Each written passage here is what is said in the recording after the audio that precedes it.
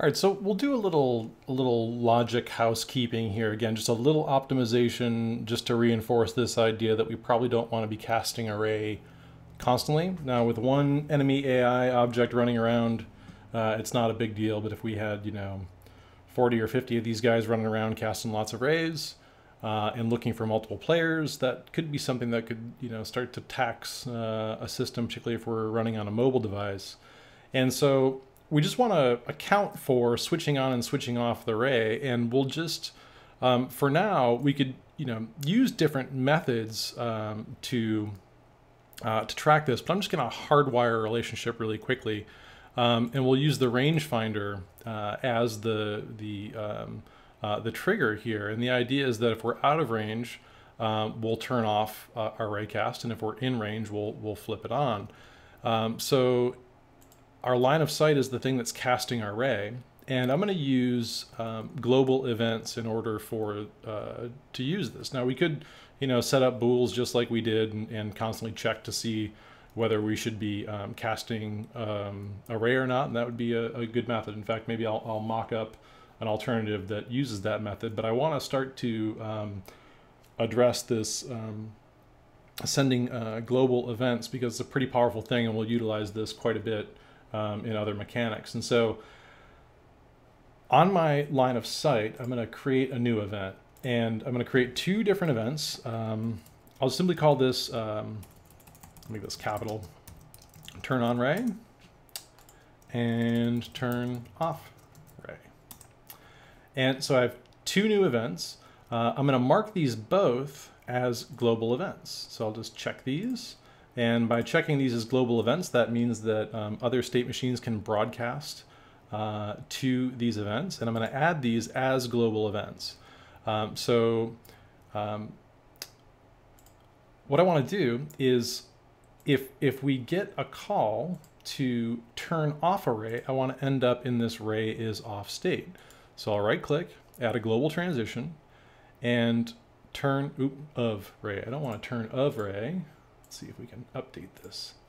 No, I can't. One of the downsides of uh, global events is once we once we create them, maybe I can turn it off and see if I can turn off. Right, there we go. Then I'll flip it back on as global.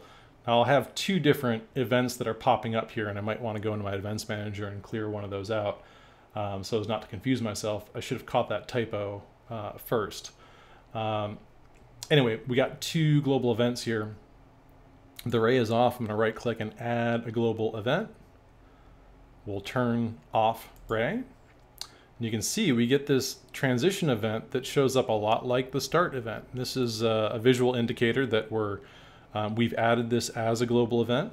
Um, so two things need to happen. We need to right click and add transition as a global event. That'll get the transition event to show up from the top um, regardless of any other transition events. For example, um, I'll switch this in a moment, but if I were to turn ray on over here, you can see that adding it as a global event, it shows up up here. So I'm going to right click, delete this transition event, um, and we'll add it over here currently with the start state. So uh, I'll right click, add a global transition, we'll turn ray on.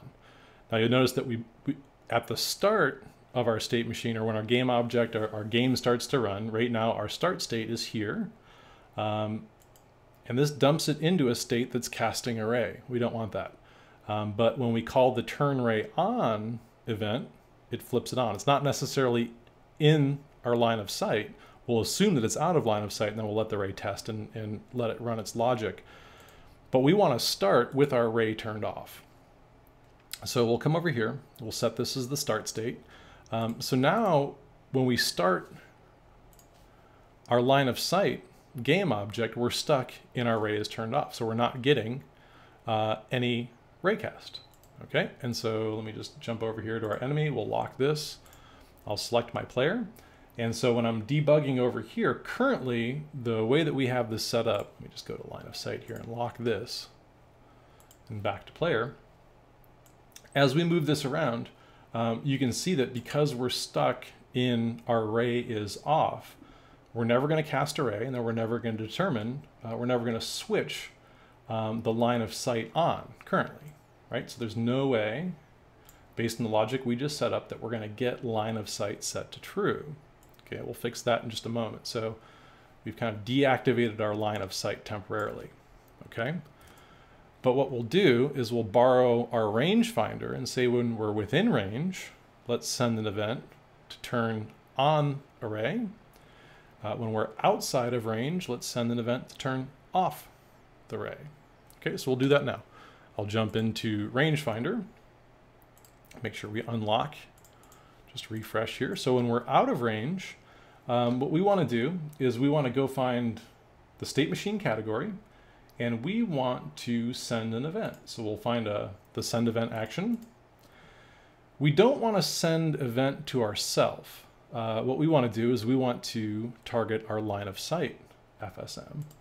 So we're going to, um, we could target a game object or a game object FSM. In this case, um, I'm going to suggest that we shoot for the game object, uh, uh, this, this game object specifically. We're not going to use the owner. We'll drag in line of sight. Uh, once we have line of sight uh, selected, uh, we'll choose global events. And this is, see, we're getting that typo that I introduced before. Um, so we're out of range, and so we want to make sure that we turn off ray. Okay, we don't need to do this every frame. We'll do the same thing over here. We'll go to send event, game object. We don't want to use the owner. We'll use line of sight. Uh, and then at that game object, we'll broadcast turn on ray so that any state machine that has that, or any, yeah, any state machine that has these as global events um, will be flipped. There's only one state machine, but we could, we could have handled this a slightly different way. We could have targeted specifically uh, the, the FSM on the game object, but we should achieve the same results here. Uh, and we'll confirm that by going to line of sight and then we should watch these two switch back and forth um, based on our proximity, okay, based on our range. So I'll hit the play button. I'm going to lock this to make sure that we're focused over here. Uh, I'll grab the player, and if this is set up properly, yep, so you can see that when we move into our range, um, it turns on line of sight. In this case, we happen to have line of sight, so we'll back out. But if I enter a range and I don't have line of sight, you can see that we've turned on the ray. So we're casting a ray right now, um, but we don't have line of sight. So that logic is still working and still holding up just the way it should. Okay, so we're in range, we have line of sight. Um, currently we're outside the field of view, so we could technically, you know, set up some logic to say, well, we don't really care about casting array unless we know we have field of view and we have range, but we'll just use the range as the criteria right now. And that, that looks pretty good. That's working the way that we want to. Um, so we can we can kind of uh, move in and out uh, of range um, to establish um, our raycast. Okay, so um, we're in pretty good shape here. The only other thing that we're going to do now that we're switching our ray on and off uh, with our little housekeeping is that I'm going to jump into uh, our enemy with AI. This is the place where we're uh, have our bools and I should have uh, I should have uh, uh, demonstrated this as well. Let me select the player. Um, but we now have all of these are, are set back to true. Um, of course, we can test all the, the three different conditions. Um, and so what we're going to do is we'll go to the enemy AI uh, and we'll use this as a, just kind of a basic AI manager. Now we could we could make this way more nuanced, but I'm simply going to um, uh, create two different states. We're going to have um, un, unaware.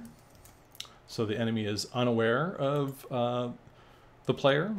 And then we'll have unaware state. Okay, so two simple states. And we're going to switch back and forth uh, between these states uh, based on these bool conditions. Okay, so uh, the unaware state uh, and the aware state, we'll just use a switch event, just a real simple event, call it switch, pass back and forth between the two. Um, but I'm going to do a bool test. So we'll find that in logic. Um, and I don't want to, actually, I'm not going to use a bool test because a bool will test one uh, variable and, and, and or, or one bool. And that can be useful, but there's some other things. Um, for example, we could test if all the bools are true. So in this case, that's going to be valuable because if we have field of view and we have line of sight and we're within range, all three of those things are true, we'll say become aware. Um, so I've added the bool all true. We want three bool variables to test, and the first one is going to be our field of view. Second one is our line of sight, and the third one is going to be our range. If all are true, we'll send event, we'll create a new event, and we'll simply make a switch transition. So we're switching states, or we could call it next, or whatever we want. So we've become aware.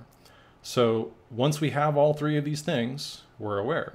Now, just like all true, um, we could do uh, none true, or um, we could do uh, any true. Really what I want is, um, let's see, is there an option for, all right, I was having trouble finding the uh, bool none true um, for whatever reason. So um, currently our logic is set up to where we, um, if everything is true, we'll pass it over to aware. Um, and then for now, we'll simply say if all of these uh, become false, um, then uh, we will become unaware. So this is a pretty strict requirement um, for it to become unaware, but that's fine. So we'll switch this back and we can we can determine what our criteria is a little bit later, but um, currently we have unaware and unaware maybe we'll set to yellow and aware we'll set to oh, let's say blue or red and green again. Um, but we have unaware and aware. So currently, um, if everything's true, so we should start off, we're going to remain in the unaware state because we're out of range. Uh, but once it gets all three conditions met, our enemy should become aware. So let's try this out. So I'll lock this. Uh, my inspector is still locked with enemy. Select the player, hit the play button, and again, I'm paying attention to uh, the state machine uh, along with um, uh, debugging the criteria over here. So if we pass into uh, aware, um, I was expecting to see it switch and it didn't. And the reason why is because I forgot to check every frame. Um, so in other words, it only checked that condition on the first frame, so not continuously. So let me correct for that. So unaware, we'll do a bool check every frame. I'll do the same thing during aware. Let's try that again. So currently, player is unaware. Player is now aware. Um, the player remains um, aware because it still has uh, field of view and it still has line of sight. So in order to break this, we got to kind of move over here. And eventually, once we get out of the angle of view and line of sight, um, it, it kicks it back to unaware. So if we move back into the range, uh, it's still unaware because it doesn't have field of view and line of sight. Okay, so uh, right now we have pretty strict requirements. Everything has to be true for it to become aware. Everything has to be untrue um, for it to um, uh, become unaware. But we could, you know, we could refine that uh, a little bit more. Um, but basically, right now, what we could do um, is we could use this as um, establishing whether uh, we have some basic AI behavior or some basic navigation that we want to happen um, based on whether we're unaware or aware.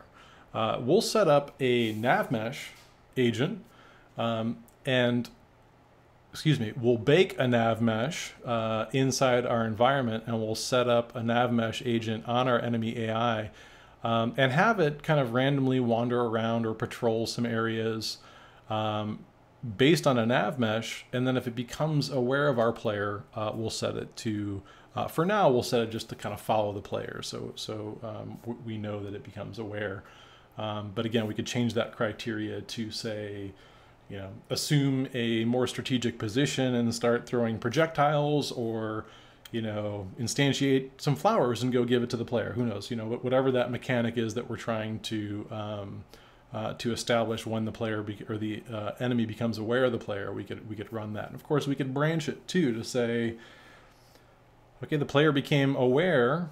Excuse me, the enemy became aware of the player, and so now we want to say maybe there's a um, a, a, 30 to uh, you know 30 percent chance that it's going to be very aggressive, or 30 percent chance that it's going to run and hide, um, and we can kind of divide that up um, uh, depending on what kind of behaviors we want to manage. Um, but we'll do that in the next presentation. We'll set up a basic nav mesh. We'll get our enemy um, moving according to the nav mesh, and then we'll set up um, some basic criteria uh, based on the AI that we've established. So we'll do that in the next presentation.